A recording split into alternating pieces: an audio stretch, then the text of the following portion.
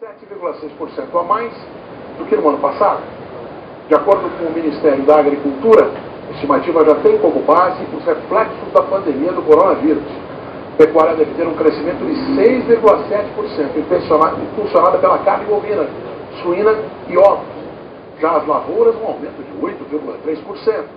Destaque para produções de milho.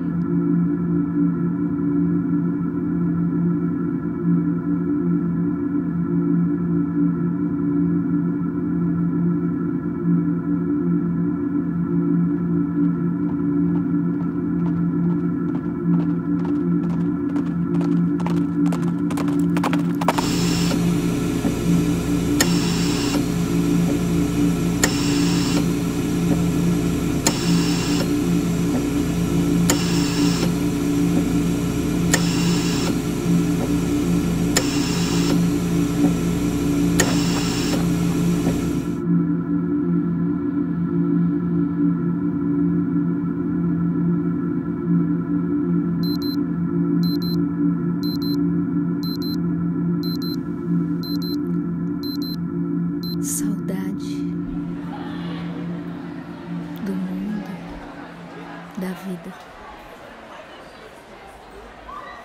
de respirar, respirar. Saudade do barulho das pessoas, lugares e bares lotados, sem lugar para sentar.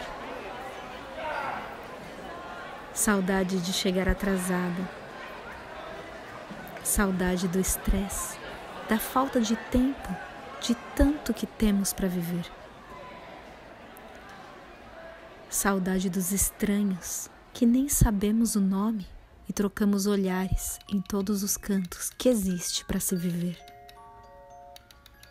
Saudade de não sair só para comprar a comida da semana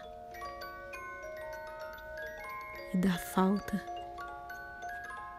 de nem sequer lembrar que se pode morrer como um peixe fora d'água, sem ar. Saudade de libertar o sorriso que está preso por trás da máscara. E por fim, saudade de ser livre.